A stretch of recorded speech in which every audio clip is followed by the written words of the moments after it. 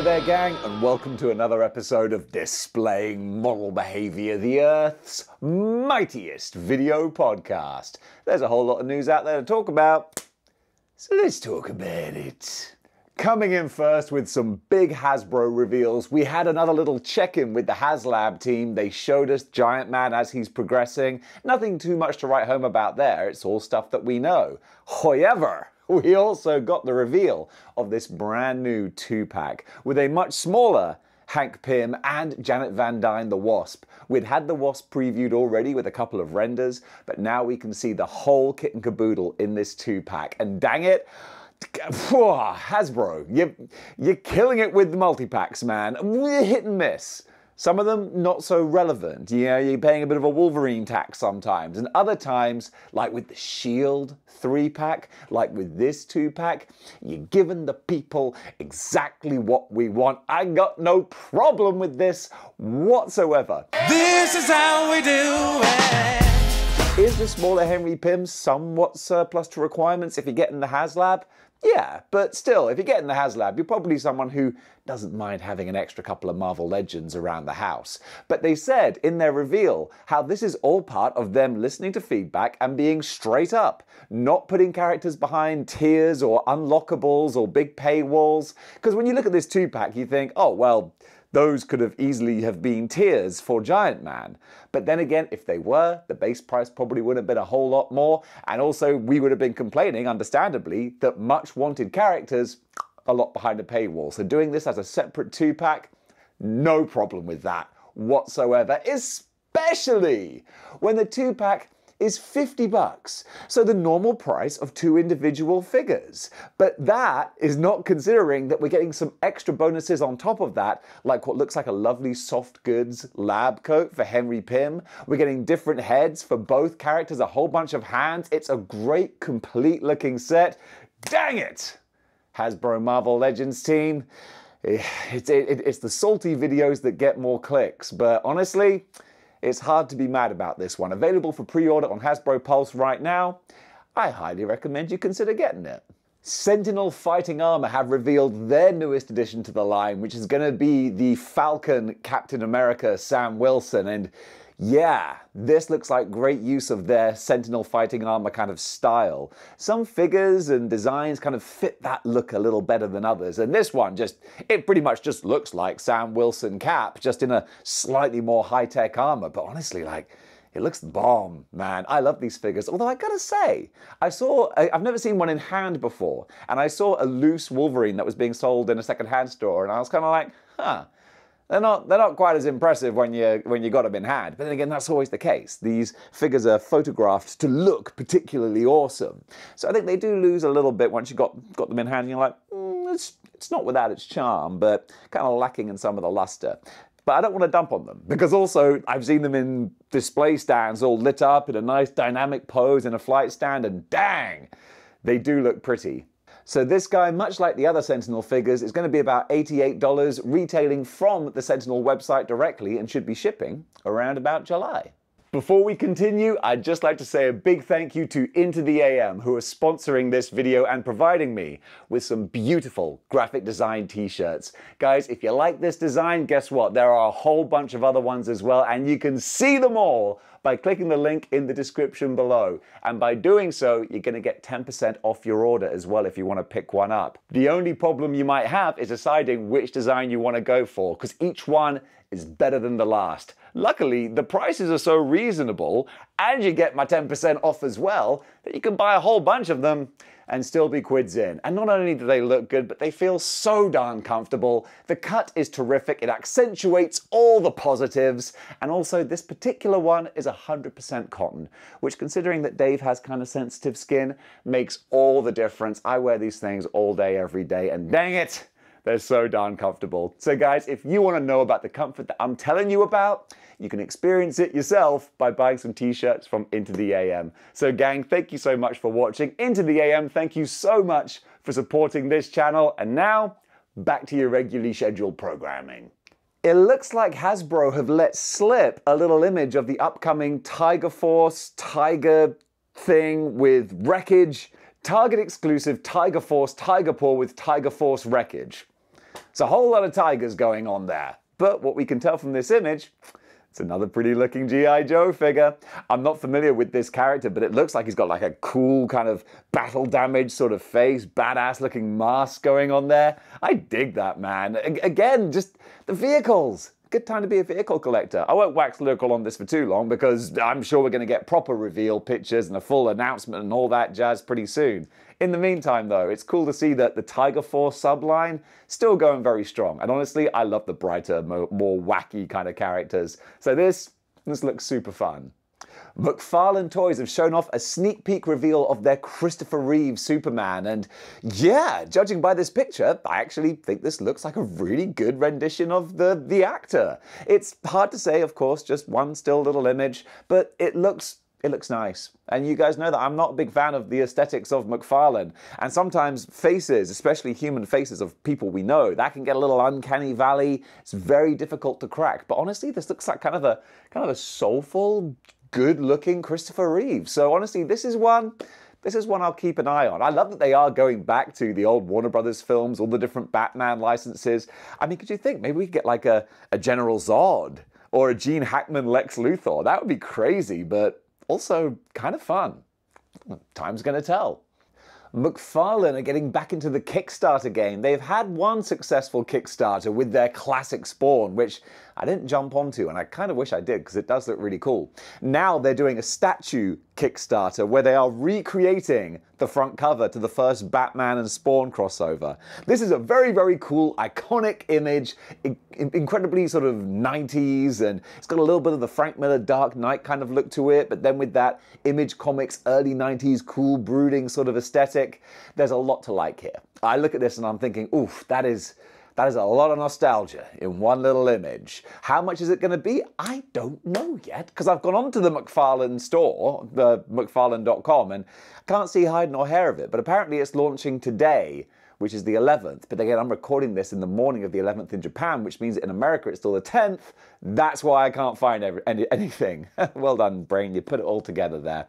So more information is going to be released soon. But in the meantime, it Looks like a fun little interesting Kickstarter project. You know, while everyone's banging on about the Mezco Ninja Turtles, and rightly so, let's not forget about the Samurai Force not Ninja Turtles. Currently up for pre order on 5K Toys, they have revealed their new character, who is in no way connected to any other franchises. They've got a summer brand naming here, and it's an anthropomorphic turtle who looks like kind of a cool dude with an orange bandana and a whole bunch of accessories to join his other two brothers, one decked out in blue and one decked out in purple. Join the dots if you're a conspiracy theorist. Me, I don't know personally. There's also a rat character who's kind of a mentor. I think some things are just coincidences. So this guy, he does look great though, and kind of makes me want to go back and, and, and, and buy the blue one and the, and the purple one too, because I didn't get the Mezcos. And honestly, I think I'm okay with that. But then looking at these, and I love the more unique, kind of unusual sort of design, because they can take what might be an accepted idea of what a character looks like, and then just recreate it and tweak it and change it and add little bits and details. Looks super pretty, man. It looks super pretty. The only problem is if I got this, then it would actually be a very expensive thing because then I would have to go back and get the other ones as well. And then the ones that are probably going to come out in the future because I can't help but think that maybe there's going to be, I don't know, like a big guy with blades coming out or, or a rhino or a, a warthog. There's, there's so many possibilities. And all of them with this design aesthetic and style, I'd be very interested to see them. But this one, he looks particularly cool. 3-0 are doing Hot Rod Shark Power Armor Fallout Warrior Brotherhood of Steel character. There you go, that's a whole lot of words. they kind of make sense. Doesn't matter, just look at the pretty pictures. Oh my goodness, isn't it pretty? Brotherhood of Steel have some, some of the coolest mech armor in video games, I think. Like part Medieval Knight and part sort of Warhammer 40k Terminator. Gotta love it.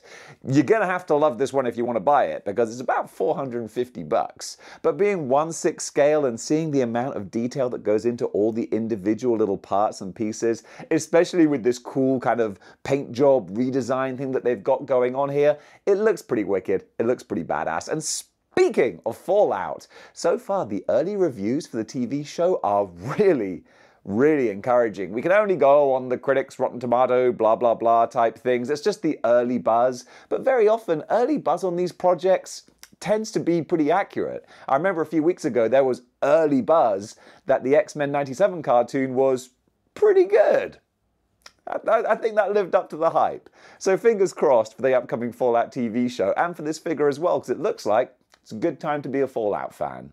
The second wave of Legends of Dragonore figures is now available for pre order, and honestly, I love the look of these guys. It's one of those issues where there's just so many great different like fantasy lines out there. I might say I love something. It doesn't mean I'm going to pick it up because there's just so much to choose from. This has more of that classic retros kind of aesthetic, which I really dig in that kind of Masters of the Universe kind of vein. I like that. Big nostalgia points there. But then with the modern articulation as well, they do look super pretty. As I said, it's just one extra line that I can't devote that much of my mind palace to, because my mind palace is kind of feeling like a bit of a, a, a squatter's den at the moment.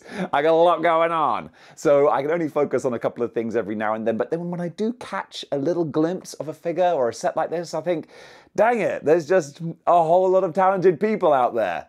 And not enough money to spend on all of them. But if you like your Master of the Universe classic retro type figures, you might be one of those people who can pony up the dough. And you know what? You'd be right to do it. Speaking of Masters of the Universe, the Walmart exclusive Neko Conda, Necroconda, think that's the name. Let's see if the pictures match what I'm saying. Got a whole new bunch of pictures for him. He's going to be released, as I said, as a Walmart exclusive very soon. And I just love the aesthetic. I love, I love the artwork. Just completely recapturing that very dark gothic fantasy kind of look of the 80s Masters of the Universe figures. But again, just like with the previous line I was talking about, Dragonore, there you go. Go show my memory hasn't forgotten what I was speaking about 30 seconds ago. The overall aesthetic is retro, but the tooling is modern. I really dig that. And also, this guy has a glow in the dark gimmick, so he's got some extra points on me for that one. Creative Beast Studio. Creative. come on. Creative Beast Studios. Whew, that was another little tongue twister. Creative Beast Studios have shown pictures of their Allosaurus Dragon Slayer figure. And you can see that this line is a beautiful kind of homage to Dino Riders. They already had their Beast of the Mesozoic era line, which was just beautifully created dinosaurs. And some bright spark went, hey, what if we put cybernetic armor on them? Bet someone was like, that's not a bad idea, that. And guess what? Judging by these pictures, it's really not a bad idea. So yeah, these look super cool. Gonna be, like, again, smaller than your 1 12th kind of scale. I think more sort of 1 18th kind of scale, but that will allow you more space to have more cyberzoic dinosaurs on your shelf. So really, I think that's a pretty good decision. Boss Fight Studios are doing a 1 18th scale unicorn, and to be fair, this is the first time I think I've ever seen a, an articulated action figure of just a straight up rainbow unicorn. Honestly, I kind of love it. It's 118th scale, so that's smaller than your Marvel Legends 112th scale sort of size. So, I mean, you could always have it in a 112th collection. It'd be like a little baby unicorn. How cute is that? A little baby rainbow unicorn? Available directly on Boss Fight Studios website, retailing for about 50 bucks. Actually, might be slightly cheaper than that because it's about 5,000 yen. That's what it comes up as here. So I think with the US dollar, yeah, it's going to be slightly cheaper than 50 bucks. Nonetheless, though, if you've des- desperately been been seeking. Put my teeth back in, that's easy for me to say. If you've been desperately seeking a rainbow unicorn, well, dang it, you just found one. This is an interesting little update. I know 5K Toys have had this Cthulhu on potential pre order for the longest time. We've been seeing little reveal pictures and sneaky peeks for gosh, probably over a year now. Well, the company that's behind this guy has finally put out another video showcasing what is coming, how it's coming together, and honestly, I mean, it does look pretty amazing. Big, uh, definitely, but not like insanely huge. Two different heads. I don't like the weird little pokey thing. Looks a little bit Starship Troopers. But the Cthulhu head with all the tentacles and then with the wings and the weirdly proportioned body. It, it does look like a cosmic horror beyond what the mind can compare. I wonder if the price is going to be that as well. I don't know. I'm guessing about 120 bucks, give or take. But it's just fun to take a look at how this action figure is developing. I think should be available for proper ordering, pre-ordering, full price, details, all that kind of stuff. It's got to be pretty soon. And the, in the meantime, this has whet my appetite. Stumbled on the last sentence. Not going to redo it. One take Jake over here. Premium collectibles have been showing off their new Juggernaut statue. One tenth scale, so a big boy, a pretty big boy. This dude's aesthetic is just straight out of Marvel vs. Capcom, and so of course I love to see that. Juggernaut is just such a fun, cartoony kind of character already, just this big brick of a creature. So seeing him recreated like this, I can just see him, you know, with you know fighting the big Sentinel, and ah, it makes me want to go play Marvel vs. Capcom again, or at least make a video about it. That might have to be on the agenda pretty soon. But in the meantime, you can look at these pretty pictures, because dang it, Juggernauts never look cooler. Speaking as I was on the last episode about Storm Collectibles not continuing the Mortal Kombat line, Jada Toys are just teasing us with a good time by posting a little Mortal Kombat picture and kind of throwing out to the public the idea that maybe they could pick up the license. This is in no way a confirmation of anything. You know, I'd be uh, surprised if there are even talks or anything happening, but it's nice of Jada to kind of test the waters and see what people are going to say. Because honestly, after getting the first two waves of Street Fighter figures, I would say a big confident yes. Yes, Jada. I would like to see what you would do with that license, especially since you're kind of establishing yourself as the company that completes the lineups, that bodes well for a Mortal Kombat set. So, uh, yeah, certainly, Jada Toys, you got my vote. The Hasbro Marvel Legends team are going to be doing another Pulse video on the 15th of this month, only a couple of days away, and you know that means more Marvel Legends reveals. And dang it, I'm already getting a little bit excited. Are they going to be hinting at any Wolverine Deadpool stuff? I don't know. I still feel like it might be too early without a full story trailer that's out. I don't know, because they're very cagey about not wanting to give things away, but nonetheless, it's just it's almost like Christmas coming early when they do these live streams because we can get excited about what's going to be under the virtual Christmas tree on YouTube. I'm driving that Christmas analogy too much and it's not making sense anymore. Nonetheless, though, look forward to some cool things coming up, hopefully on April 15th. Over in Custom Corner, want to shout out Boogeyman393. The one piece that really, really caught my eye was this awesome Venom repaint that he did, based off of the Riot. I was like, Lasher, Toxin, Riot body. This, this is just such an incredible looking 90s kind of comic book cell shaded sort of Venom. I love the grinning smile. It just takes me back, man, takes me back to a certain era. But that's not all he's doing. The dude is very prolific, looks like he's got great, amazing painting skills. So you can check out some of the other customs and things he's done on his Instagram. This is one of those ones that genuinely I think you're going to want to follow because I can see more kind of evolution coming from his style. And when he's putting out bangers like that Venom, along with a whole bunch of other stuff that he's showing, yeah, that's definitely a customizer worth watching. Over in Cosplay Corner, want to shout out Oichi Official. Wow, yeah, I I don't know if there's a little bit of computer jiggery pokery going on with some of these images, and if there isn't, and take that as a compliment because I was looking at some of these going like, man, no, human human beings don't look like that. But you know what? It'd be a lot cooler if they did. no, I'm kidding though. But still, it's pretty awesome cosplay. So while you're checking out that, let me tell you about Into the AM who are sponsoring this channel. If you'd like to pick yourself up a badass graphic design t-shirt, then you can do by clicking the link in the description below. That'll give you 10% off your order, which is already a steal considering the different bargains and bundle deals that they do. A huge amount of wicked looking t-shirts that you can choose from. Step into the summer looking like the coolest dude on YouTube. Not me, obviously, but there are some other streamers who wear Into the AM t-shirts and dang it, they look cool. All right, gang, thank you for taking the time to watch this little promo plug and thank you, Ochi Official, for just making ludicrously good-looking cosplay pictures. She's, she's doing a good job over there. All right, gang, you know what? I think it's time to wrap this episode up. And folks, that does it for Good News for today. Thank you so much for watching. What do you think about the items covered? Comment below.